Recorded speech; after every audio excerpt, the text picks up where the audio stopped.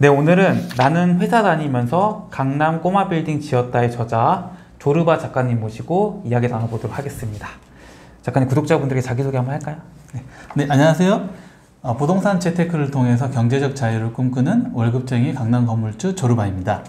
네, 저는 국내 IT 기업에 다니고 있고요. 14년차 어, 직장인입니다. 그리고 어, 최근에는 어, 강남에 그 꼬마 빌딩을 지으면서 제가 직접 경험한 내용하고 어, 노하우를 책으로 어, 출간하기도 한 작가입니다. 어, 제가 그 여기 출연하게 된 이유는 어, 제가 그 현장에서 겨- 경험한 그 맨땅에서 헤딩한 경험을 어, 조금이나마 그 성장일기 구독자분들께 도움이 됐으면 하는 바람에서 출연하게 되었습니다. 아, 강남 꼬마 빌딩 건물주를 이제 이렇게 뵙게, 뵙게 되다니 정말 영광입니다. 아닙니다. 아, 근데 일단은 국내 네네. 이제 IT 기업에 다니고 계시다고 하니까 네네. 어, 아유, 뭐 너는 뭐 이렇게 좋은 기업 다니니까 이런 강남 꼬마 빌딩 살 수 있는 거 아니냐 이런 생각을 하시는 분도 있을 것 같아요. 네네. 뭐 일반 직장인도 가능한 건가요?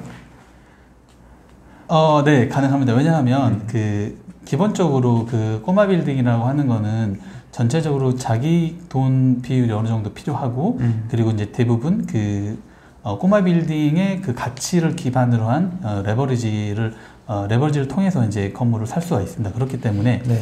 어, 기본적으로 그 월급 소득이 어느 정도 있다고 하면 음. 어, 본인의 신용과 그리고 음. 꼬마 빌딩의 그 담보 가치를 활용한 레버리지를 통해서 어, 충분히 꼬마 빌딩을 살 수 있습니다. 어.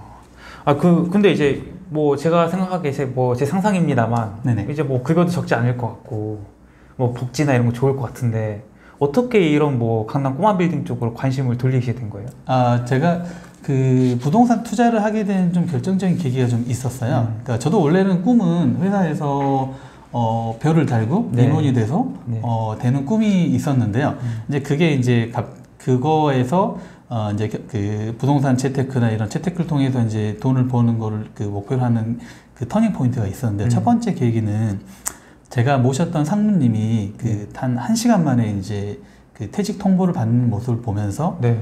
아 이제 그 한 시간 만에 이제 본인의 직장과 음. 또 매달 나온 월급이 한꺼번에 사라진 모습을 보면서 네. 아 회사는 이제 그 지금은 안전지대이지만 회사 회, 회사가 영원히 어, 나와 내 가족을 지켜주지 않는다는 걸 절실하게 좀 느꼈고요. 네. 두 번째는 이제 저랑 친하게 지내시는 이제 엔지니어 부장님이 계시는데요. 음. 그분도 회사에서 한 20년 동- 정도 근무를 하고 네. 이제 그 어느 명예퇴직 좀 빨리 명예퇴직을 하시고 음. 이제 그 제2의 삶을 좀 어, 생각해 계획하신 분이셨는데 네. 실제적으로 이제 밖에 나가 보니 네.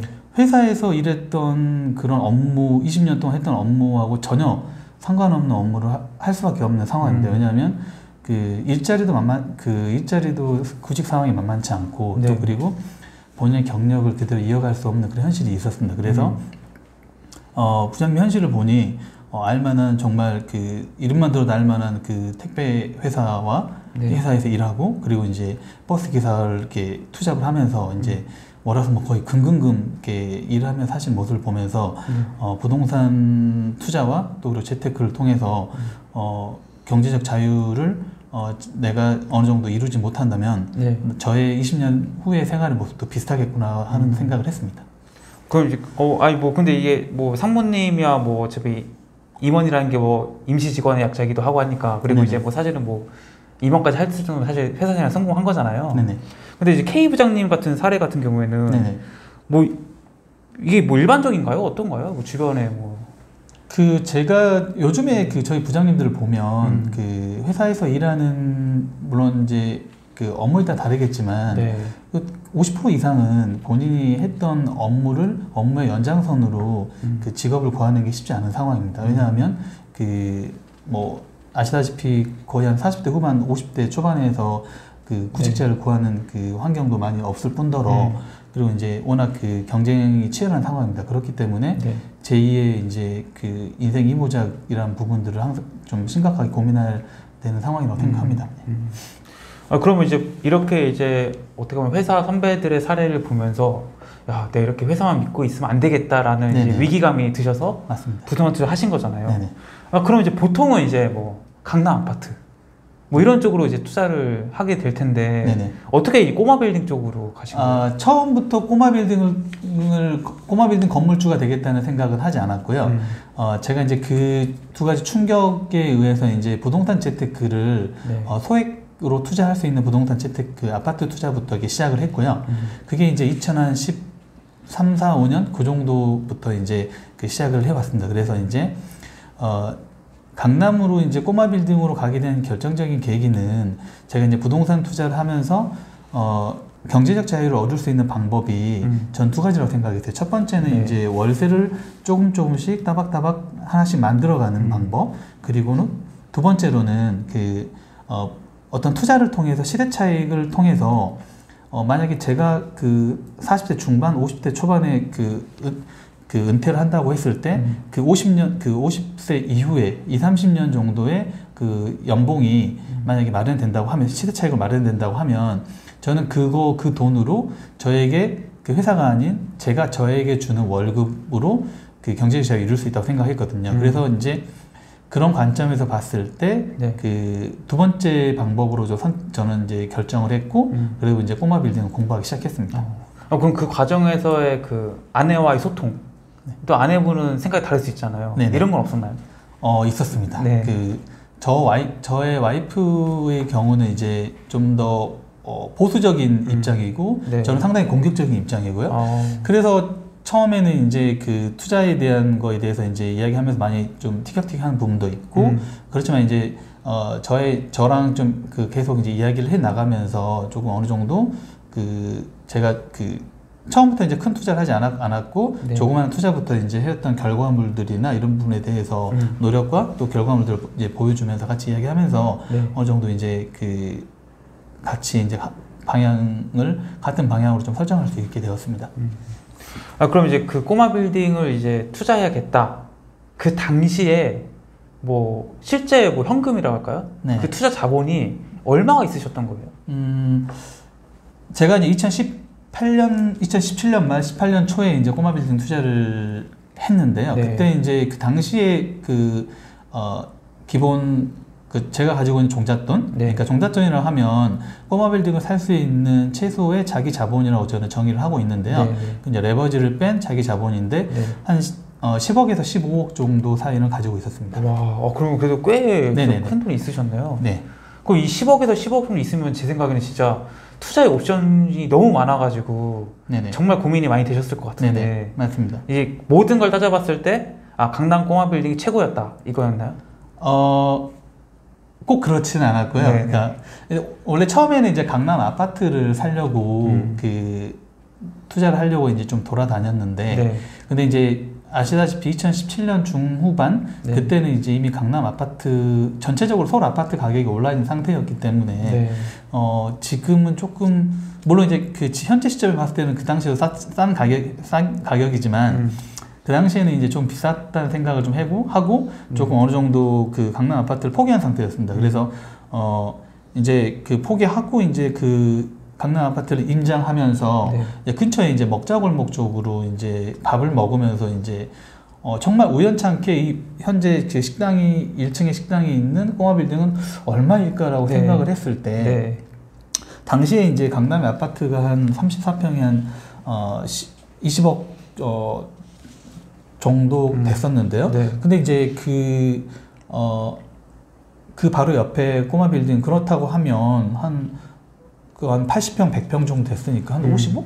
50억 정도 되겠지? 라고 이제 평수로만 따지면, 네.単가로만 따지면 됐는데, 실제로 이제 부동산에 물어보고 확인해 보니, 어, 시세, 제가 생각했던 것보다 한 거의 한 10억 가까이 좀싼 어, 거예요. 그래서, 네. 어, 그래서 왜 싸지? 라고 이제 고민을 해봤더니, 네. 어 이제 그 근처 뭐 나중에 말씀드리겠지만 그 강남구 개포동이란 그 동네 자체가 음. 그 아파트 재건축 아파트들이 신축되기 직전이었어요. 네. 이제 신축되고 있는 아파트도 있었고 음. 그렇기 때문에 어, 저평가된 그런 상황이었던 것 음. 같아요. 그래서 음. 그래서 이제 아 저는 이제 부동산 투자할 때 그 가격이라는 포인트를 보기 때문에 네. 그때부터 이제 그 꼬마 빌딩에 어 일단 기본적으로 10억에 10억 정도의 안전 마진이 있다고 하면 음. 투자해볼 만하다라고 판단을 했습니다. 그러면은 작가님께서는 10억에서 15억의 종잣돈을 가지고 이제 시작을 하신 거잖아요. 네네. 그럼 실제로 그 10억에 15억이 다 투입이 되었나요? 네, 맞습니다. 어, 그럼 보통의 사람들은 네. 얼마 정도 있으면 좀 음, 해볼 수 있나요? 그 강남 꼬마 빌딩 말씀하시는 거죠? 네. 네. 근데 강남 꼬마 빌 지금 현재 어, 상황은 조금 달라졌어요. 음. 그러니까 당시에는 음. 어, 금리가 어, 그 2% 중반에 3% 초반이었고 네. 그리고 이제 부동산 임대차 시장도 지금보다 훨씬 탄탄한 그런 환경, 좋은 환경이었습니다. 그런데 네. 이제 그런 걸 감안했을 때 음. 어, 현재 기준으로 좀 말씀드리면 음. 지금은 강남의 어, 그 개포동이나 일원동 조금 끝자락이라고 하, 더라도 네. 어, 최소한 20억에서 25억 사이는 좀 있어야 됩니다. 어. 어, 왜냐하면 이제 물론 이제 지가의 시대 상승도 있었고 네, 네. 또 금리가 고금리이기 때문에 네. 어, 레버리지에 통한 이자 비용이 어, 불과 3, 4년 만에 그 비교했을 때 음. 거의 한 두 배 정도 올라 두 배 정도 더 비용이 들어가기 때문에 네. 좀 안전적으로 봤을 때 20억, 25억 최소 25억 정도는 음. 가지고 있어야 투자 가능할 것으로 보입니다. 20억이 없으신 분들은 어 강남의 꼬마 빌딩은 좀 어렵다 싶으신 거잖아요. 네네. 그러면은 이제 20억 미만의 뭐 예를 들어서 한 10억 정도 내외를 갖고 계신 분들이 아, 나는 이걸로 아파트 투자할까? 아니면은 강남은 아니더라도 네네. 비강남권의 네네. 꼬마 빌딩 이런 걸 살까? 이런 고민을 하시는 분도 있을 것 같아요. 네네. 어떻게 생각하세요? 어, 일단은 그, 그 투자를 통해서 이제 얻고자 하는 방향, 목적에 따라 좀 달라질 것 같아요. 음. 그래서 이제 만약에, 어, 아파트는 아무래도 좀 그 시세 차익이 좀 더 focusing이 되어 있고, 네. 그리고 이제 만약에 그 10억이라는 금액을 통해서 나는 어, 월세 나오는 시스템을 음. 어, 갖고 그 안정적으로 노후에 좀 생활을 해보겠다라는 관점을 했을 때는 네. 물론 이제 그 지역에 따라 다르겠지만 현재 뭐 그 서울 외곽 쪽 음. 외곽 쪽으로는 어 그런 10억에서 15억 정도로 네. 투자할 수 있는 꼬마 빌딩이 있다고 생각합니다. 네. 그럼 이제 꼬마 빌딩 투자가 낫다 이거예요? 강남권이 아니어도? 아 그 개인적이 예그 개인적인 음. 그목그 투자 목적이 다 다르다고 아, 이거 월세. 수입을 예, 예. 기대하면은 네네 강남 아파트나 뭐 이런 아파트 투자보다는 네네 비강남권의 꼬마 빌딩을 투자하는 것이 나을 수 네, 있다. 맞습니다. 네. 아, 그 이제 제가 깜짝 놀랐던 게 이제 작가님께서 이제 종잣돈을 15억 이렇게 큰 종잣돈을 가지신 분저 처음 이제 뵈가지고 어그 종잣돈 어떻게 마련했을까도 사실 궁금하긴 해요. 네네. 아마 이거 이걸 아직 제가 물어보지 않았으니까 많은 분들은 아 부모님 잘 만나서 부모님이 물려줬나 보다 생각 같은데 실제로 어땠나요? 아 절대 아닙니다. 네. 그 제가 이제 부동산 투자를 시작한 거는 거의 10년이 좀 넘어가고 있는데요. 음. 2012년부터 시작했는데 네. 어 이제 아무래도 저는 이제 그 대기업에 다니고 있고 음. 그렇기 때문에 이제 기본적으로 이제 월급 이 어느 정도 그 기반이 되고 있습니다. 그래서 네. 어 저는 부동산 그 저희 월급의 한 70% 정도는 네. 어, 부동산 투자하는데 이제 그 종잣돈으로 음. 어 거의 할당을 했고요. 그리고 이제 그 70% 할당된 그러니까 매달 그리고 매년 할당된 그 종잣돈으로 음. 부동산 소액 투자를 통해서 네. 자산을 키우 키웠습니다. 그래서 음. 그 자산 결국 이제 그 자산을 키워서 그 수익화를 어 수익화를 해서 이제 최종적으로 제가 어 이- 제가 저의 종잣돈과 음. 또 수익화된 그 자산의 그 자산의 가치가 올라가 수익화된 금액을 포함해서 한 10억에서 15억 사이가 되었습니다. 음.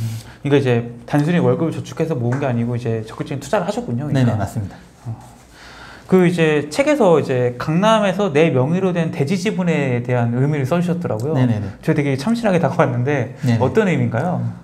어 일단 그 강남에서 대지 지분 뭐 한 평도 좋고 그러니까 제가 이제 말씀드린 포인트는 음. 한그 꼬마 빌딩 지을 수 있는 한 50평 아니 최소한 60평 정도의 그 대지 지분을 좀 기준으로 말씀드렸고요. 네. 어 일단은 그 대지 지분 일단 강남이라고 하면 어, 누구나 다 이제 그 투자하고 싶은 음. 지역 그 희소성이 가장 높은 지역입니다. 그렇기 때문에 강남이 대지 지분을 갖고 있다는 건 앞으로도 계속 그 오를 수 있는 그 가격의 오르 가치가 가치와 가격이 동시에 오를 수 있는 지역이고요. 네. 그렇기 때문에 그 본인의 그 자신의 돈을 담을 수 있는 안전자산, 그 돈을 담을 수 있는 그릇을 갖고 있는 최고의 그릇을 갖고 있는 갖고 있게 될 수 있습니다. 그리고 음. 두 번째는 이제 그 어, 대지 지분을 그 아파트 대지 지분하고 꼬마 빌딩 대지 지분하고 다른 점이 네. 어, 아파트 대지 지분은 이제 나중에 재건축을 하더라 재건축을 할 수는 있지만 네. 아시다시피 재건축하기에는 어, 시간도 그 수십 년이 걸리고 그리고 네. 이제 어, 안전 진단과 또 조합원 설립 뭐 여러 가지 이슈들이 겹쳐서 내 맘대로 그 건물을 지을 수가 없습니다. 아파트를 음. 지을 수 없는 상황이고요. 근데 이제 그 꼬마 빌딩 같은 경우는 음. 어 이제 대지 내가 오롯이 대지 지분을 가지고 있기 때문에 음. 그 대지 지분에 대해서 건축 허가만 받으면 네. 6개월, 1년 사이에 새로운 꼬마 빌딩 사업성을 어, 수익성을 높일 수 있는 꼬마 빌딩을 만들 수 있다는 장점이 있습니다. 음. 네. 네. 아 그럼 이제 이렇게 해서 이제 2017년, 18년 그 시기에 이 강남에 꼬마 빌딩을 투자하셔가지고 시세 차이도 꽤 많이 오르셨고 뭐 월세도 지금 받고 계실 거 아니에요? 네네 맞습니다. 그 이렇게 성공을 하게 되면 아무래도 뭐 친하신 뭐 시장 동료나 뭐 시장 동료까지 아니더라도 가족들이나 뭐 이런 분들에게 야, 빨리 돈 모아서 이렇게 이런 쪽을 투자해봐라는 말을 하게 되잖아요. 자연스럽게 안 네. 하시나요? 저는 네. 어, 잘 안 하는 편입니다. 그 어. 제가 그 꼬마 빌딩 강남에 꼬마 빌딩 간- 갖고 있는 것도 음. 가족 어, 외 그리고 아주 친한 그 지인들 빼고는 네. 어, 회사에서는 절대적으로 비밀로 하고 있습니다. 어. 예. 아 그럼 이제 이런 걸 뭐 그 극히 소수의 사람들에게 얘기를 했을 때 네. 꼬마 빌딩 하면 갖고 있는 선입견이나. 뭐 이런 것도 있을 거 아니에요? 있습니다. 예. 어떤 것들이 있을까요? 이제 저는 이제 블로그를 하고 있는데 블로그에서 이제 그 댓글이나 뭐 이런 글들을 보면 네. 음. 어 아까 말씀하신 것처럼 음. 원래 돈이 많았겠지 금수저겠지 그쵸. 이런 생각을 하시는 분들이 대부분 많습니다. 네. 그런데 어, 실제적으로 이제 꼬마, 빌- 아, 꼬마 빌딩을 투자하는데 음.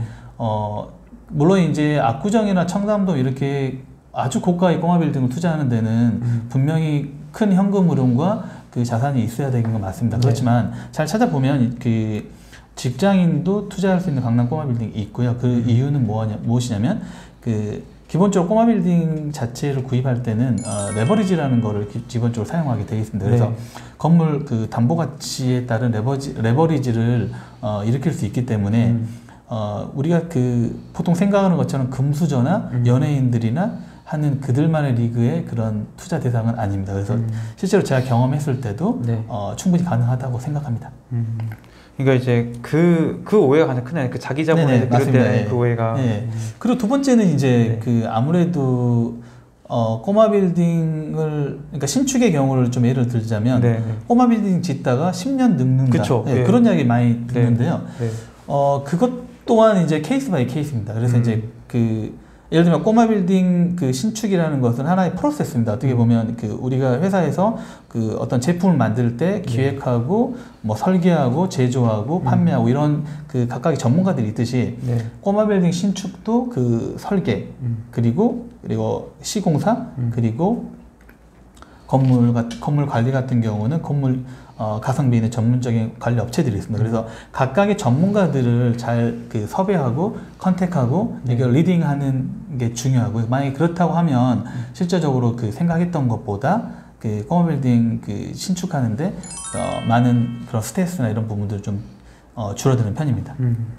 그 세 번째로는 이제 꼬마 빌딩을 어 이제 사거나 아니면 이제 신축한 다음에 네. 관리하는 게 정말 문제일 것이다. 음. 예를 들면 24시간 그쵸. 뭐 이제 민원 대응도 있을 있- 발생할 것이다라고 네. 그런 예측이 있는데요.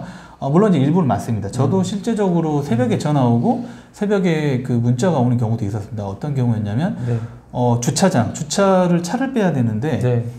어, 이제 야간 근무하시는 분인데요. 이게 음. 차를 주차, 차를 빼야 되는데 연락이 안 된다. 그래서 저보고, 어, 전화 와서 좀 어떻게 도와줄 수 없냐라고 이야기하는 경우, 어. 이런 경우 많이 있습니다. 그런데, 이제 물론 이제 그런 경우가 있는데 제가 이제 추천하는 방법은, 어, 건축주나 건물주가 이제 혼자서 오롯이 이제 건물 관리를 하면 그런 경우가 좀 발생할 수 있는데요. 음. 근데 이제 그 요즘에는 이제 proptech 업체가 많이 그 스타트업이 많이 생겼습니다. 그래서 이제 네. 건물 관리하는 업체들 통해서 이제 어, 저렴한 가격으로 가성비 음. 있게 그 건물 관리를 할 수 있습니다. 그래서 기본적인 민원 대응은 어, 이제 그런 proptech 업체에서 일차적으로 하고 음. 중요한 의사 결정만 건축주가 하게 되면 네. 어, 민원에 대한 스트레스로부터는 어느 정도 해방될 수 있습니다. 음. 음. 그리고 이제 그 마지막에 이제 그 공실에 대한 좀 불안이 있습니다. 음. 사실 이제 어, 요즘 기사나 이런 걸 보면 음. 공실 어, 상가가 뭐 들어오지 그 사람 공실이 텅텅 비었다는 기사를 많이 볼 수 있는데요. 어, 맞습니다. 물론 그 상가 만약에 꼬마 빌딩의 구성물을 어떻게 이제 가져가느냐 그 차이인데요. 네. 꼬마 빌딩 안에 이제 상가를 어, 전부 더, 전부로 가져가면 좀 리스크가 클, 클 수가 있습니다. 그래서 음. 제가 추천하는 거는 어, 저는 이제 월급쟁이 이제 회사원들의 이제 투자나 은퇴하는 이제 그런 관점에서 투자, 그 추천하는 상품은 음. 상가 주택이고요. 그러니까 네. 어, 1층에 상가가 1, 2층에 상가가 있고 나머지 한 2, 3, 4층에 주택이 있는 그 약간 혼합적인 그래서 이제 그 한쪽에 올인하지 않고 약간 리스크를 좀 해칭할 수 음. 있는 그런 구성품으로 좀 넣는 걸 좀 추천합니다. 그래서 네. 이제 어, 상가 예를 들어 상가 공실이 있더라 하더라도 음. 그 주택 같은 경우는 아시다시피 약간 임대료를 조금만 낮추더라도 그 그쵸. 수요가 있게 됩니다. 네. 그렇기 때문에 어, 공실 한 7, 80%의 공실은 이제 줄일 수 있는 음. 방법이 될 수 있습니다. 그 작가님께서는 이제 낡은 이제 주택을 사서 허물고 새로 지으신 거잖아요. 네 맞습니다. 그 애초부터 내가 이걸 사서 지어야겠다 생각하신 거예요? 아니면은 뭐 아예 지어진 걸 살 수도 있는 거잖아요. 네네. 뭐 그런 선택에 대한 고민은 없으셨어요? 어 약간의 고민은 있었고요. 그러니까 네. 우선은 그 이제 그 우리가 제품을 기성품을 사느냐 아니면 원재료를 사서 이제 가, 가공하는 그 차이는 결국 이제 네. 전체적인 가격의 차이가 발생하는데요. 그래서 네. 어 이제 다 지어진 걸 사면 네.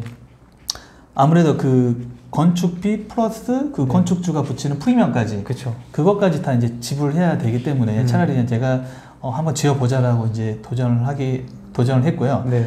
그리고 기본적으로 이제 그 각각의 디자인이나 이런 것도 네. 사실은 이제 제가 이제 어느 정도 컨셉을 잡은 형태가 아니기 때문에 네. 좀그 신축되었다고 하, 신축된 음. 제품들 그 상, 건물이 하더라도 약간 네. 마음에 드는 건물들이 좀 많이 음. 대부분 없었던 경우가 많았습니다. 그래서 차라리 그냥 내가 짓자라고 결심을 했습니다. 그럼 그 짓는 과정에서 네. 좀뭐 어려웠던 에피소드나. 뭐 좀 되게 특이하고 재밌었던 에피소드 뭐. 이런 거 있나요 혹시?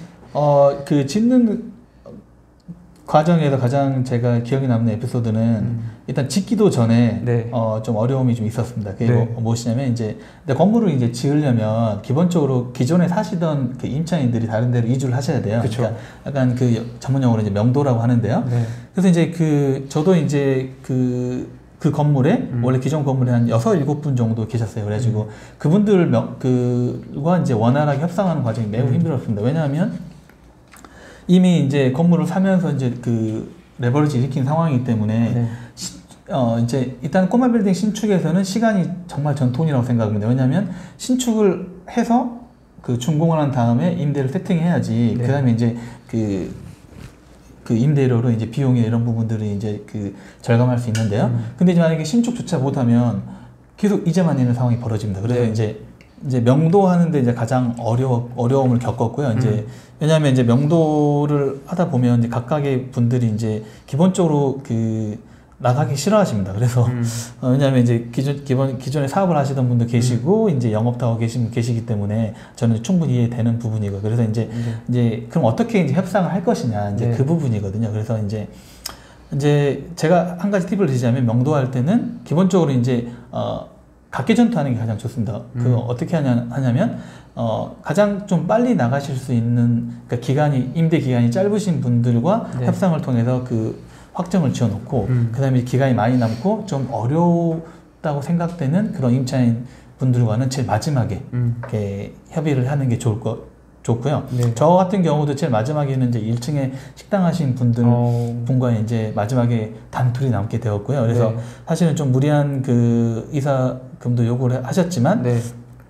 제가 그분께 말씀드렸던 포인트는 결국 이제 그 꼬마 빌딩을 이제 지을 때 이제 그 철거를 할 때는 그 건축허가 있- 있는 상태에 철거를 하는 경우에는 임대차 계약이 그 갱신이 안 됩니다. 그렇기 때문에 음. 소송으로 가더라도 어 이제 그 폐소할, 수, 폐소할 수밖에 없다는 부분들을 좀 어, 주지를 시켜드렸고 그리고 이제 네. 어 그냥 그냥 나가실 수는 없으니까 음. 밖에서 다른 사업을 하실 수 있도록 소정의 이사비를 어, 드리는 것으로 이제 제안을 드려서 네. 어, 다행히도 뭐 한 3개월 정도 만에 어, 어. 이렇게 명도를 마칠 수 있었습니다. 어. 그래서 어, 정말 그때가 가장 저는 음. 그 꼬마비디 신축하면서 아찔한 순간이었다고 생각합니다. 왜냐하면 어, 1, 2년 소송으로 가게 되면 정말 이제 그 이자 비용과 그쵸. 네, 예. 그런 것 때문에 이제 거의 어, 신축 사업이 망할 수도 있는 그런 상황이 될 음. 수도 있기 때문에 어, 그때가 가장 어려웠던 상황이었습니다. 어. 아 그럼 뭐 건축 과정에서의 뭐 어려움 없으셨나요?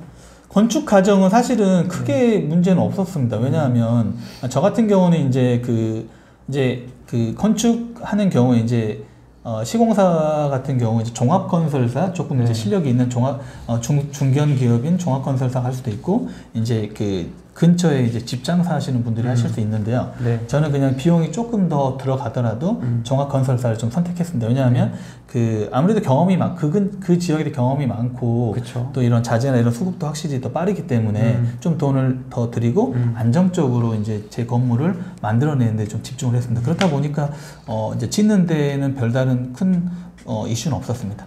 견적을 여러 군데 받아보셨을 거 아니에요? 네네. 이 건축비의 차이는 뭐 컸나요?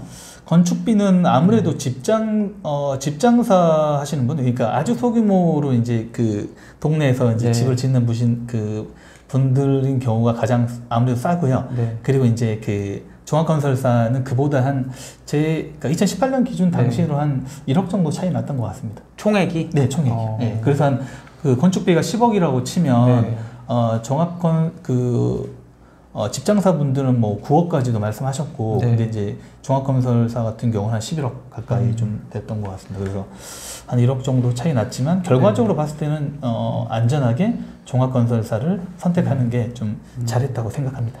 그럼 일- 일단은 그 처음에 그 낡은 주택을 샀을 때 이게 대출을 끼고 사신 거잖아요. 네 맞습니다. 그럼 이 상태에서 대출이 있는 상태에서 그 집을 허물고 또 건축비가 들어가게 되잖아요. 네네네. 이런 것들이 다 뭐 금융기관에 해결이 되는 건가요? 어 기본적으로 네. 그네 해결되고요. 그러니까 음. 요즘에 그 기사 자주 보시면 PF 대출이라고 혹시 네. 보셨나요? 약간 그 PF 대출과 비슷한 방식입니다. 음. 그게 뭐냐면 이제 어, 건축하는 경우에 이제 현재는 그 맹지나 아주 구, 그 오래된 거- 그 구축 건물이기 때문에 사업성이 네. 낮습니다. 그런데 어, 건축 계획이 있고 음. 이- 그 허가를 받, 받은 상태라면 어, 예를 들면 뭐 더 층수를 높게 지을 수 있기 때문에 사업성이 훨씬 올라갑니다. 그래서 음. 은행 기관에서는 그 사업성을 보고 대출을 해주는 구조고요. 네. 그래서 이제 기본적으로 대출은 어, 토지 담보 대출과 네. 그리고 이제 건축비의 한 50% 정도 음. 토지, 토지는 한 토지에서 한 80% 그리고 건축비 한50% 정도의 대출을 이렇게 해주는 방식입니다. 건축비를 전액 대출 받아서 해결했다고 이해하면 되나요? 아 아닙니다. 그 어, 그러니까 그 토지 가격에 대해서는 7, 80%까지 대출을 그, 해주고요. 네, 네. 이제 그 당시 방, 장식으로는요. 그리고 이제 건축비에서는 건축비가 10억이면 한 5억 정도, 네. 50% 정도 이렇게 건축비를 음. 이렇게 대출이 됩니다. 네. 그래서 그 전체적으로 이제 금액을 합쳐 보면 네. 어쨌든 그 짓기 전에 구축 음. 건물의 감정 가격보다는 높게 대출은 될 수는 없고요. 음. 그 어, 이내에서 이제 건축재 상황에 맞게 음. 대출을 받, 받는 구조입니다. 일단 그 일단 옛날 집이 있었을 때 대출 네. 껴 있었잖아요. 네. 근데 이걸 이제 허물고 짓는 과정에서 건축비가 뭐 10억인데 아까 건축비가 5, 50%가 나온다고 했으니까 네. 5억이 필요한 상황이 되는 거잖아요. 아 그렇죠, 그렇죠. 그 작가님 돈 5억이 이렇게 여기 지을 때 들어간 건가요? 어, 그렇죠, 그렇죠. 그러니까 이제 그런데 네. 이제 실질적으로 이제 음. 아, 예, 그렇죠, 그렇죠. 그러니까 건축비에 네. 예, 그렇게 맞겠네요. 건축비의 50%는 대출 받았고 50%는 네, 네. 제가 충당하고 네. 나머지 이제 또 제 돈에서 네. 토지담보대출 충당하고 근데 그쵸. 이제 제가 좀 말씀드렸던 려고 했던 포인트는 이제 네. 최소한 건축비 정도는 있어야지 음. 어, 이제 금리가 좋은 시절에도 네. 건축할 수 있다는 포인트인데 네. 아, 빼시죠. 네, 네, 알겠습니다. 알겠습니다. 일단은 그러니까 이게 이런 거죠. 내가 뭐 영끌에서 낡은 집을 샀다. 네. 근데 여기서 건축비는 내 자본이 있어야 된다. 이 정도로 이해하면 될까요? 어 그렇죠. 최소한 건축비는 네. 있어야지 네. 그 건축할 수 있는 최소 자기 자본이라고 네. 보시면 되겠습니다. 알겠습니다. 네. 어 이제 작가님께서 이제 그 강남 꼬마 빌딩을 사시고 새로 지은 곳이 개포동이라는. 곳이잖아요. 네. 이 개포동을 이제 투자했던 이유가 있으신가요? 우선은 네. 그 어, 강남 일단 강남에 있는 꼬마 빌딩을 이제 사고 싶었고요. 네. 근데 이제 어, 아시다시피 압구정, 청담동 이런 데는 네. 도저히 제 직장인으로서 도전할 수가 없는 지역이었고요. 물론 네. 이제 임장은 그 가장 좋은 지역부터 이제 보면서 내려왔고요. 음. 그래서 이제 가장 마지막에 이제 이제 가격적으로 그, 그 당시에 제가 접근할 수 좀 접근할 수 있는 지역이 강남구 개포동하고 어, 일원동이었습니다. 그런데 이제 개포동에 좀 집중했던 이유는 음. 첫 번째 이제 말씀드린 대로 가격이 어, 어느 다른 강남 지역보다 좀 가격 평당 가격이 쌌었고요. 네. 그리고 두 번째는 이제 그 어, 강남 그 아시다시피 강남구 개포동에 어, 재건축 아파트들이 많습니다. 그래서 이제 재건축 아파트들이 아파트들이 신축하게 되면 거의 1만 세대가 네. 그 지역에 이제 그 새로 생기게 되는데요. 네. 그렇다고 하면 그, 그 1만 수- 세대의 유동 인구하고 음. 이런 부분들이 그 상권을 그 상권을 좀 더 그 확장시킬 거라고 저는 생각을 했었고요. 음. 그리고 이제 어 제가 이제 한 가지 팁을 드리자면 어 재건축하는 아파트 근 바로 인접한 꼬마 빌딩의 그 시세는 네. 그 재건축 아파트의 프리미엄을 따라가게 되어 있습니다. 그래서 처음에는 사람들이 이제 아파트 신축 아파트를 이제 관심을 갖는데요. 근데 신축 네. 그렇다고 보면 신축 아파트가 가격이 상승하게 되고요. 음. 그렇다고 하면 그 상승한 만큼 그 인근의 꼬마 빌딩의 그 지가도 어, 키맞춤 형식으로 이제 상승하게 됩니다. 음. 그래서 이제 저는 이제 그 부분에 대해서 이제 약간 네. 포, focusing을 했고요. 그리고 세 번째는 이제 네. 그 개발 호재도 그러니까 아주 확정적은 아니었지만 논의되고 있던 부분들이 있었습니다. 네, 첫 번째는 이제 어, 위례, 그 강남에서 유일하게 지하철역이 없는 곳이 강남구 개포동인데요. 음. 물론 이제 그래서 가격이 좀 싼 부분도 있지만 네. 그래서 이제 위례 과천선 역사가 음. 어느 정도 논의되고 있었고요. 음. 또 지금도 뭐 논의되고 있지만 그래서 이제 뭐 그런 부분의 호재도 있었고, 그러니까 음. 그 예상되는 호재도 있었고요. 네. 아 그리고 네 번째는 이제 그 강남구 개포동에 가보시면 아시겠지만 어, 살기가 너무 좋습니다. 그래서 어, 양재천을 일단 끼고 있고 네. 그리고 이제 또 반대편으로는 음. 어, 산, 그러니까 구룡산도 이제 끼고 있어서 가보면 음. 그 공기가 너무 좋습니다. 그래서 이제 제가 이제 그 구축 건물을 이제 허물고 신축하려고 하는 거는 주택이었는데 네. 그렇다고 봤을 때 어, 주택의 수요도 꽤 있겠구나라는 생각을 음. 했습니다. 왜냐 워낙 살기 좋으니까 네. 그래서 이제 공실에 대한 부분도 조금 줄어들 수 있겠구나 음. 네, 그런 판단을 좀 했습니다. 네. 어 그럼 이제 그 부동산 투자할 때 항상 중요한, 중요하게 나오는 게 입지 분석이잖아요. 네네. 이 꼬마 빌딩의 입지를 분석하는 것과 뭐 아파트 입지 분석이 좀 다른 점이나 뭐 이런 게 있을까요? 어 저의 관점에서 봤을 때 네. 일단 기본적으로 이제 어, 기본적인 입지 분석은 아파트와 비슷한데요. 그러니까 학군도 봐야 되고 네. 교통도 봐야 되고 일자리도 봐야 되고 유동 인구도 봐야 되는데요. 음. 근데 이제 그- 거기까지는 누구나 다 아는 이제 그 입지 분석 방법이고요. 네. 어, 제가 좀 말씀드릴 수, 말씀드리고 싶은 포인트는 음. 어, 좀 저는 그 꼬마빌딩 투자할 때 어, 임대 소득 아니면 집가 상승 둘 중 하나의 포인트를 이제 그 노리고 이제 투자를 하는데 네. 저는 이제 집가 상승의 포인트를 봤을 때 음. 그 가격이 상승할 수 있는 좀 지역을 봅니다. 그래서 네. 그거에 하나의 팁을 드리자면 어, 그 신축 아파트 가 들어서는 지역 인근의 그 먹자 골목이나 그 빌라촌의 꼬마 빌딩을 이제 그, 그 관심 있게 보고 있고요. 왜냐하면 그 집가 상승되는 부분이 음. 신축 이후에 꼬마 빌딩으로 키 맞춤 형식으로 시간차를 두면서 이제 상승이 이루어집니다. 실제적으로 음. 이제 제가 그 매입했던 개포동 같은 경우도 네. 그런 경우였었고요. 음. 아 근데 이제 꼬마 빌딩 같은 경우에 사실 아파트는 이게 네네. 뭐 어느 아파트의 뭐 32평형은 얼마다라는 게 맞아요. 진짜 뭐 주식처럼. 딱 시가가 있잖아요. 또. 어플도 워낙 네. 잘돼 있어가지고 네네. 요즘 너무 쉽게 판단할 수 있는데 네네. 사실 꼬마 빌딩은 뭐 땅 크기도 다 다르고 땅 모양도 다르고. 또 뭐 건물 상태도 다 다르다 보니까 네네. 이 시세 파악하기가 좀 어려운 것 같아요. 맞아요. 네. 뭐좀 시세를 어떻게 해야 좀 제대로 파악할 수 있을까요? 어, 제가 그 시대를 파악하는 방법은 한 세 가지 정도 되는데요. 음. 먼저 이제 제가 좀 관심 있는 꼬마 빌딩이 보이면 네. 저는 일단 우선 어 이제 그 꼬마 빌딩 현장으로 갑니다. 그래 음. 가서 이제 그 가장 허름한 이제 부동산 중개 업소에 가서 네. 중개소에 가서 이제 그 실거래 가격과 그리고 이제 현재 그 나와있던 매물들 음. 이런 부분들을 어, 물어봅니다. 그래서 이제 그 이야기를 듣고 들으면서 이제 가격만 보 가격만 보는 게 아니고 네. 이제 전체적으로 이제 그 분위기를 좀 파악하는데요. 일단 음. 현재 가격이 올라가면서 수요가 좀 많이 있는 건지 아니면 이제 뭐 그 exit 하려고 하는 분위기인 건지 음. 뭐 이제 이런 걸 좀 먼저 봅니다. 그래서 이제 음. 현장에서 가격을 먼저 파악하고요. 첫 번째. 음. 두 번째는 이제 요즘에 조금 그 건물의 토, 그 토지와 건물의 가격들을 이제 그 알 수 있는 어플들이 많이 있는데요. 음. 그 proptech 업체들이 많이 나왔는데 음. 제가 주로 보는 거는 이제 그 첫 번째 가격은 어, 밸류맵이라는 어플을 통해서 확인하고요. 네. 그리고 이제 토지 가격이나 아니면 그 신축했을 때 사업성 네. 이런 부분들도 이제 보여주는 어플이 있더라고요. 근데 음. 그거는 랜드북을 통해서 좀 확인을 합니다. 음. 그리고 이제 그 하나 더 이제 그 확인하는 건 부동산 플래닛이라는 네. 어플을 통해서 이제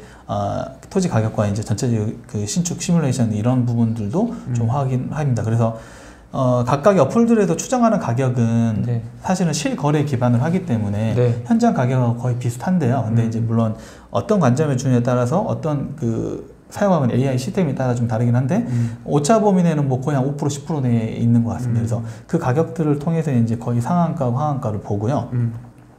음. 그럼 마지막으로는 이제 실제로 어, 꼬마빌딩은 말씀드렸듯이 이제 레버리지를 활용하기 때문에 은행에 대출 받고 사야 되기 때문에 네. 과연 그러면 은행에서는 이 꼬마빌딩을 얼마로 판정을 할까라는 네. 걸 이제 보러 갑니다. 근데 네. 보는 방법은 어, 정확하게 이제 감정 가격이라는 것을 이제 확인하는데요. 네. 근데 사실 감정 가격 받으려면 감정 평가 기관에 수백만 원 주고 이제 받아 그 확인을 하, 하는데 네.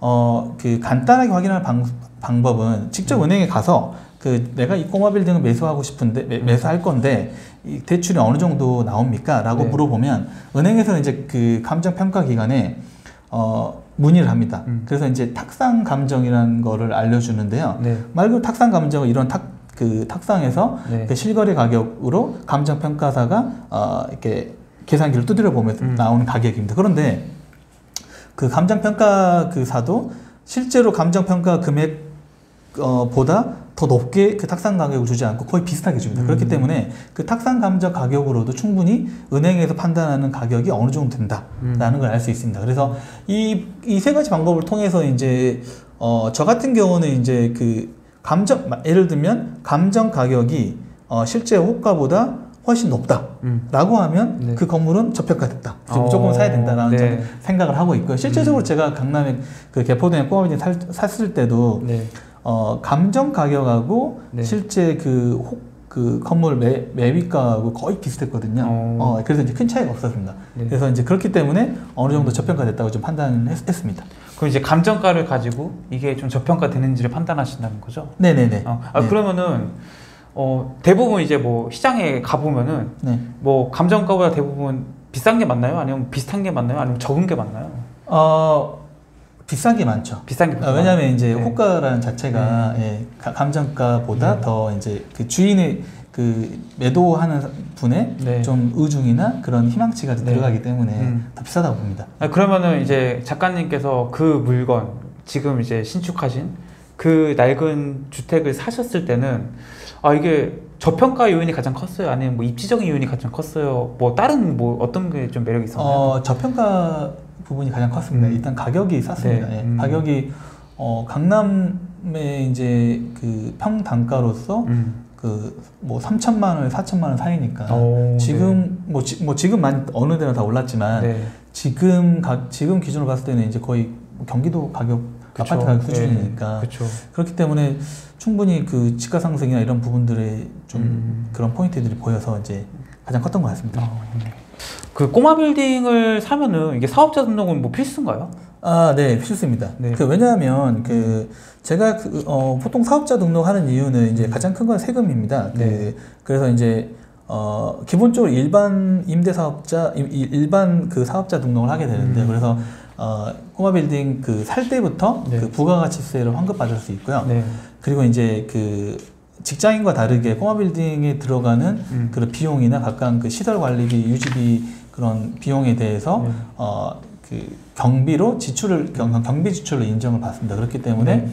그, 그 세금 나중에 절, 그 소득세나 이런 소득세를 낼 때 절감할 수 있는 포인트가 되고요. 음. 그리고 제가 추천하는 건 또 주, 그 꼬마 빌딩 내에 주택이 있다고 하면 네. 전 주택 임대 사업자를 통해서 그 절세하는 방법을 좀 추천을 드립니다. 음. 그 주택 임대 사업자 이제 8년 어 짜리 주, 그 주택 임대 사업자 할 경우에 네. 재산세와 그리고 취득세 음. 그리고 이제 종합 부동산 소득세 그리고 이제 그 나중에 팔 때 양도소득세 모두 이제 그 절세를 받을 수 있, 음. 있습니다. 음. 근데 물론 이제 그 정부 대신 이제 임대를 하, 임대를 하는 거기 때문에 네. 각종 이제 그 지켜야 할 룰들이 좀 까다롭게 있고요. 음. 만약에 그 위반 시에는 과태료 수천만 원 과태료가 음. 부과되고 네. 또그 말소될 수도 있습니다. 말소되면 그 강제 말소될 경우에는 이제 기존 기존에 받았던 그 혜택들을 모두 뱉어내야 되는 그런 네. 상황입니다. 그래서 음. 그래서 이제 각각 그 의무와 이제 혜택을 모두 이제 주어진 상황에서 어, 장기적으로 꼬마 빌딩을 이제 가져가시는 입장이라고 생각하시면 나중에 그 양도나 이런 부분을 고려했을 때는 어, 주택임대 사업자를 추천하는 추천합니다. 그 지금 이제 신축을 해서 이제 시가 약간 이제 예상되는 이제 매매가가 4, 50억 정도로 보는 건가요? 제가 그 처음에 그 매입했을 때는 네. 총 사업비가 총 한 40억 정도 들어 45억 정도 들었습니다. 네, 그래서 네. 어, 대지 가격은 32억 그리고 네. 이제 그 건축비는 한 10억 정도 됐고요. 음. 그리고 나머지 이제 어, 금그 취등록세나 네. 이제 그 세금 부분이 한 2, 3억 네. 돼서 45억 되는데요. 현재 시세로는 이제 어, 실거래가나 이제 말씀드린 대로 감정 그 실거래가 감정 가격 그리고 네. 추정치들을 종합적으로 봤을 때 네. 보수적으로 한 75억 정도 지금 어. 예상하고 있습니다. 어, 그, 아, 이건 좀 민감할 수 있긴 한데. 아, 맞아 맞아. 근데 예, 예, 아니, 그, EJF부터 드린 질문이. 예. 아니, 그, 그 75억에 이제 그 강남에 꼬마 빌딩 갖고 있으면 굉장히 큰 이제 부동을 갖고 있는 거잖아요. 네. 이제 우려하시면 이건 것 같아요. 세금. 네. 유지하면서 우- 내는 세금들도 많을 거 아니에요. 뭐 종부세도 내야 되고. 네, 맞아요. 그거 얼마나 나와요? 이게 75억 정도 아, 갖고 있으면. 그게 이제 그 구성물에 따라 달라요. 다른데 네. 이제 그 저 같은 경우는 이제 주택이 그 1층에 상가가, 상가가 있고 네. 2층에서 5층까지 주택인데요. 네. 그래서 이제 말씀드린 대로 네. 주택 임대 사업자를 통해서 네, 네. 주택 같은 경우는 이제 어 만약에 60제곱미터 이 주택 임대 네. 임대 사업자 장기 8년으로 가입을 하게 되면 등록을 네. 하게 되면 여러 가지 의무를 또 지키게 되면 네. 재산세에 대해 재산세에 대해서는 60제곱미터 이하는 75%가 면제돼요. 음, 그리고 어, 또 종합 부동산 소득세도 네. 어, 합산 배제가 됩니다. 그 말은 아. 뭐냐면 주택으로 카운트하지 않기 때문에 네. 오. 꼬마 빌딩을 통해서 내는 종합 부동산 소득세는 네. 단 0원도 아. 되지 않습니다. 야, 75억 부동 갖고 있고 종부세 이런 거 안 내시는 거네요. 아 그렇습니다. 예. 야. 그런데 이제 네. 그 임대 사업자를 하면서 이제 네. 그어 그 계약 갱, 그 갱신할 때 음. 어, 임대료를 5%만 아, 인상할 그쵸. 수 있고 네, 네. 뭐 이런 부분들 그리고 또 이제 보증보험도 가입해야 되고 음. 부기 등기도 그 가입 등기도 올- 가입해야 되고 네. 그리고 이제 또 어, 임대사업자 기간 동안 양도할 수 없는 음. 뭐 여러 가지 그런 그 어떻게 보면 강력한 좀 그 지켜야 할 룰이 있습니다. 그래서 네. 그런 것들을 좀 지키면서 네. 어, 한다고 하면 괜찮. 어. 그러니까 세금의 절세 방안도 생각보다는 꽤 많다. 네네 맞습니다. 그 말씀이시잖아요. 그리고 이제 결정적으로 이제 임대사업자를 통해서 네. 어그 8년 후에 만약에 네. 이제 8년 그 저거는 장기 임대 8년을 그 가입했는데요. 음. 그 8년 뒤에는 이제 매도 양도할 경우에 네. 양도세의 그 양대 그 양도 차익의 50%에 대해서는 네, 어, 와. 절세가 됩니다. 그래서 네. 예를 들면 이제 그 시세 차익이 뭐 20억이다라고 하면 네. 20억 중에서 10억에 대해서는 세금을 안 내는 구조인 네. 거죠. 음. 그래서 이제 양도세 부분이 저는 가장 크다고 생각합니다. 어. 예. 아니 그럼 이제 어떻게 보면 모든 대한민국 사람들의 꿈인 이 강남 꼬마 빌딩 건물주가 되셨는데 네네. next level은 뭐예요? 아, 내가 강남 꼬마 빌딩 받, 잡, 진짜 실제로 가져보니까 네. 다음도 어떻게 투자는 계속 하, 하셔야 될 거 아니에요? 지금의 뭐 투자에 대한 생각이나 계획은 뭘 갖고 계세요?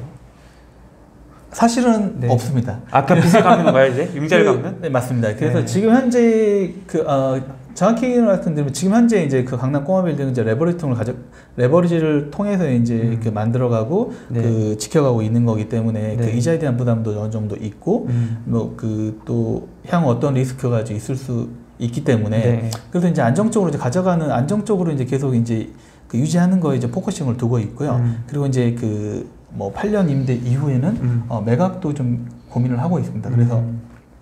제가 처음에 말씀드린 것처럼 그 제가 생각하는 경제적 자유는 제가 이제 은퇴하는 시점에 네. 그 그만큼의 시세 차익 그 어떤 제 자산으로부터의 시세 차익을 통해서 네. 그 나머지 그 경제 활동 할 수 있는 그 기간 동안에 음. 월급 월급을 줄 수 있는 시스템을 월급을 줄 수 있는 시스템이라고 하면 네. 저는 그런 방법을 좀 선택을 하고 있거든요. 음. 그래서 예를 들면 제가 매각했을 때뭐 어, 20억의 시대 차익을 얻었다고 했을 때 음. 예를 들면 이제 그 연봉 뭐 7천의 기준을 봤을 때 네. 그럼 이제 20억이면 한 30년 정도 연봉이 네. 되잖아요. 그래서 네. 그래서 그냥 저는 그렇게 생각합니다. 그래서 저한테 그 매달 제 통장에서 그 월급을 주는 형태로 어. 그 생각 그 형태가 되는 것이 네. 하나의 이제 경제적 자유라고 저는 어. 생각을 하고 있습니다. 그래서 그런 부분도 많이 고민을 하고 있습니다. 어, 네. 아, 그 이제 뭐 레버리지를 이제 끼시고 이제 투자를 하신 거니까 네. 물론 이런 얘기 하시는 분 있을 것 같아요. 어, 지금 이제 고금리 때 힘든 거 네. 아니냐. 금리의 인상이 일어났잖아요, 최근에. 네네네. 그거에 대한 뭐 느낌이나 체감적인 뭐 어려움 이런 것도 혹시 있으신가요? 어, 금리 인상이 되었기 때문에 그 네. 현실적으로 그 이자 부담도 많이 늘었습니다. 음. 그래서 이제 어 이제 18년, 19년 그 신축했을 당시보다는 네. 금리가 뭐 2, 3% 정도 올랐으니까 음. 분명히 좀 어려운 상황이고요. 네. 근데 이제 그런 부분들은 이제 그 어, 임대료와 그리고 또 이제 뭐 제가 가지고 있는 자본이나 이런 네. 부분을 통해서 좀 리스크를 어, 좀 줄여가고 있는 상황입니다. 예. 버틸만 하다. 뭐 네네. 이런 느낌이죠, 지금. 네. 네, 그래도 버틸만 합니다. 예. 네. 음. 어, 아, 아마 이제 오늘 영상을 보시거나 작가님 책을 보신 분들이 네네. 아, 나도 저렇게 강남에 꼬마 빌딩 사가지고 짓고 싶다 이 생각을 네네. 하실 건데 네. 그런 분들에게 좀 한번 이런 것들을 사전에 좀 고민해 보면 좋을 것 같다. 뭐 네네. 하실 말씀 있으신가요? 일단 그 꼬마 빌딩을 이제 짓는다고 하면 음. 저는 이제 가장 그 첫 번째 해야 될 것이 네. 어, 본인의 이제 그 투자금, 네. 자기 자본을 명확히 선을 그어야 됩니다. 그래서 내가 지금 얼마 가지고 이- 있다는 것을 정확히 계산을 해야 된다. 그래야지 그걸 기준으로 음. 제가 그 내가 살 수 있는 꼬마 빌딩이 결정되고 네. 또 지역이 결정되기 때문입니다. 음. 왜냐하면 그 말씀드린 대로 꼬마 빌딩은 내 자기 자본하고 레버리지를 합해서 그 살 수 있는 거기 때문에 음. 내 자기 자본에 맞게끔 비율에 맞게끔 레버리지 결정됩니다. 그래서 자기 자본을 정확히 계산하는 게 첫 번째 시작이고요. 네. 두 번째는 그 꼬마 빌딩을 짓는다고 생각했을 때 음. 내가 혼자서 모든 걸 다 하겠다는 생각을 버려야 됩니다. 음. 그 왜냐하면 그 꼬마 빌딩도 하나의 그 어, 전체적인 프로세스고요. 그래서 음. 각각의 단계별로 어, 꼬마 설계, 설계는 건축사, 그리고 시공은 종합 건설사, 그리고 네. 이제 임대는 어, 부동산 그 중개 베테랑, 네. 그리고 그 나중에 그 임대 관리는 음. 어, 그 관리 업체 이렇게 베테랑들이 있습니다. 그래서 네. 베테랑들을 잘 섭외해서 음. 어, 이렇게 하나의 그 프로젝트를 이끌어간다는 개념에서 가져가야지 만약에 나 혼자 모든 걸 다 A부터 Z까지 다 꼼꼼하게 체크하겠다라고 하면 네. 정말 그 흔히 말하는 어 꼬마 빌딩 짓다가 10년 늙는 그런 상황이 발생합니다. 그래서 저, 저는 그래서 이제 그 책에서 말씀드렸지만 음. 어그 꼬마 빌딩을 신축할 수 있는 one team을 어 잘 만드는 것이 네. 꼬마 빌딩을 안전하고 그리고 그 스트레스 없이 짓는 방법이라고 생각합니다. 작가님께서 어쨌거나 이걸 짓기 전까지는 이 one team의 구성원들이 전혀 모르고 있었고 네. 하나하나 맨땅 헤딩을 하신 거죠? 맞습니다. 멘땅 헤딩하면서 만났고요. 네. 그 기본적인 좀 팁을 드리자면 이제 건축사 어, 시작은 건축사인데 왜냐하면 이제 꼬마 빌딩을 사기 전에 네. 건축사님을 통해서 네. 어느 정도 그 가설계를 통해서 사업성이 어느 정도 나오겠다는 걸 봐야 돼요. 네. 그렇기 때문에 건축사를 처음에 이제 그 선정하는 게 이제 스타트인데 음. 제가 하는 방 제가 했던 방법은 네. 어, 제가 강남구 개포동에 이제 돌아다니면서 네. 어, 조금 잘 지었거나 그런 건물들을 좀 많이 받았습니다. 그래서 네. 그 건물들의 그 건축물 대장을 떼면 네. 그 자세히 밑으로 내려가 보면 어느 건축사에서 지었다는 게 나옵니다. 그래서 맞아요. 그럼 그 건축사에 그쪽에 전화를 해서 음. 건축사를 컨택해서 만나서 네, 그때부터 이제 인연이 시작되는 겁니다. 음. 그래서 그래서 이제 건축사와 이야기를 하다 보면 또 건축사님께서 또 추천하는 음. 또 시공사들이 있어요. 네. 또 그런 시공사들을 여러 업체 만나다 보면 음. 또 괜찮은 시공사를 선정할 수 있고 이렇게 어, 처음에 시작만 잘 그 갖추면 꼬리에 꼬리를 물고 음. 이렇게 이제 원팀을 구성 이렇게 만날 수 있는 상황이 됩니다. 아 그럼 이제 그 가장 좋은 건 이건 거잖아요. 아 내가 이걸 살까 말까 고민이 돼. 네. 그때 약간 건축사분 해서 여기에 정말 예쁜 건물 지을 수 있을까요? 네. 확인하고 사는 게 가장 확실한 거잖아요. 맞습니다. 예. 이렇게 하신 건가요? 아니면은 계약을 해놓고 여기 지을까 이렇게 되신 건가요? 순서가? 어, 이제 그 건축사분께 먼저 그 음. 상황을 좀 확인을 했고요. 예. 그래서 이제 주택으로 지었을 때 이제 네. 그 사업성이 이제 뭐 2, 3층 이렇게 높게 지을 수는 없었지만 네. 한- 한 개층 정도는 더 지을 수 있는 그런 사업성을 좀 키울 수 있는 상황이었기 때문에 좀 선택을 했습니다. 그러면 이제 내가 이제 건축사 분들한테 약간 이제 아쉬운 소리를 해야 되는 거잖아요. 이거 좀 잘 봐주세요. 이거 되는 건가요? 물어보게 되는 거잖아요. 네네. 이 가설계를 할 때는 비용을 지불하는 건가요? 어떻게 비용을 지불하는 경우가 일반적이고요. 네. 뭐한 2, 30만 원 정도는 네. 이렇게 어느 정도는 그 지불해 지불해야 되고 음. 근데 이제 만약에 그 건축사분님과 계속 관계성을 이어가고 네. 나중에 실제로 이제 건축 그 설계를 이렇게 하게 되는 경우라면 그런 네. 비용은 이제 나중에 이제 전체 비용에 포함되기 때문에 아. 결국은 이제 그 예, 안 내는 그러니까 세이브가 되는 세이브가 되는 음. 그런 상황이라 고 보시면 됩니다. 근데 이제 네. 단순히 물어보고 막 네. 이렇게 체크하는 경우라면 네. 어느 정도 비용은 들어간다고 봅니다. 근데 이제 네. 그 2, 30만 원 비용을 들여서 네. 그 수억 원, 수십억 원의 이제 그런 사업, 그러니까 신축이라는 사업을 이렇게 검토하는 거기 때문에 저는 그 네. 비용은 되게 적다고 생각하고 있고요. 음, 예. 네. 아, 그, 그 이제 투입 자금에 대해서 조금 이제 좀 정리를 해보고 싶어요. 그러니까 네네. 이렇게 제가 이야기 이런, 이런 거거든요 지금. 그러니까 내가 내가 네. 어떻게든 뭐 레버리지를 이용해서 예, 맞습니다. 그 낡은 주택을 어떻게든 사요. 네네. 산 다음에 이 신축 비용만큼의 현금이 있을 때 가장 안전한 건가요 이게? 아니면은 뭐 어떻게 아, 금액을 그 계산하면 좋을까요? 이제 이걸? 가장 그 최소한의 음. 이제 자기 자본은 네, 어 그러니까 낡은 그 주택을 샀을 때 네, 그 주택 어, 비용 외에 네. 건축비와 네. 그리고 이제 기타 비용들을 네.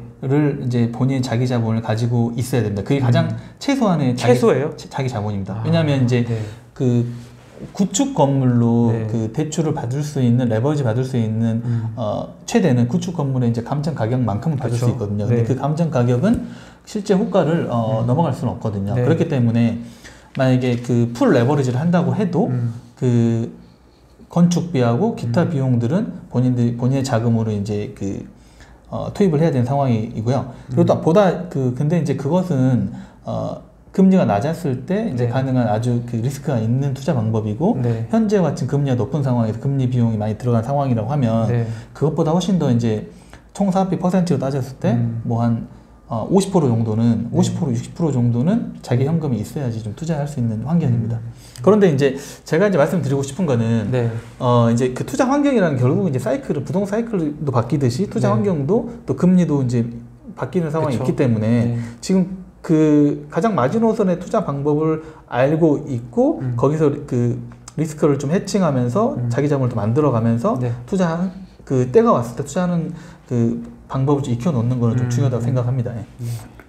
어, 이제 그 실제로 작가님께서는 이제 그 감정가 수준의 물건을 잘 찾으셔가지고 싸게 강남에 그 집을 사신 거잖아요. 네네. 그러니까 이런 물건들 흔치는 않을 거란 말이죠. 네네. 이런 물건들을 잘 찾아서 어떻게 좀 해볼 수 있는 뭐 노하우가 있을까요? 우선 뭐 부동산 투자에서 가장 이제 싸게 사는 방법은 이제 금매를 찾는 것인데요. 네. 금매를 좀 잡는 것인데요. 네. 저는 이제 꼬마 빌딩에서 이제 금매라고 하면 음. 물론 이제 아파트도 비슷하겠지만 그 저는 그 상속자들이 이제 어, 매도로 내놓은 그 상속자들이 내놓은 물건 꼬마 빌딩이라고 생각합니다. 네. 실제로 저도 이제 상속자들이 내놓은 이제 건물을 샀는데요. 음.